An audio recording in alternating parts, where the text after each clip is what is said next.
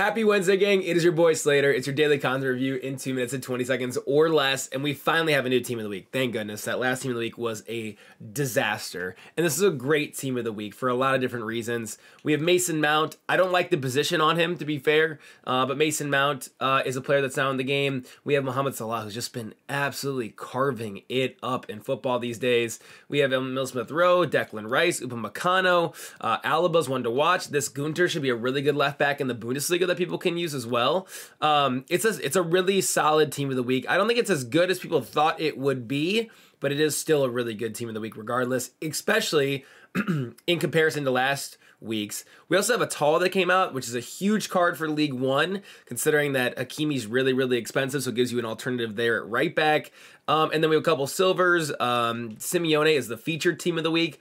I don't like that the featured team of the week is one of the non-dynamic cards in this team. I would uh, maybe he will get a dynamic image regardless, but he I feel like that should be one of the main 11 players or I don't know. We also have we also have Josh King looks like a really usable card as well. So that is the team of the week, which is a decent little team of the week. We also have an awesome Silver Stars this week. Um, kind of reminds me of Zweback, who's done a couple of videos on this absolute mad lad.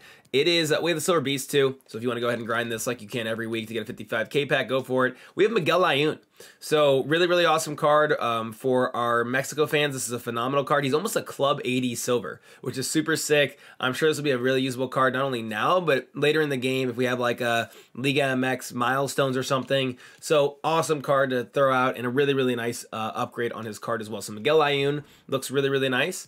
And finally, for the content today, we have last minute winner. Now, Road the Knockouts are, I believe, out of packs as of now, so we are now waiting till Friday for the next promo. So save your packs till Friday. But we have players the same league, max of five, gold players, minimum one, rare players 10, 70 chem, or 70 overall, 90 chem for a 25k pack, and it is tradable.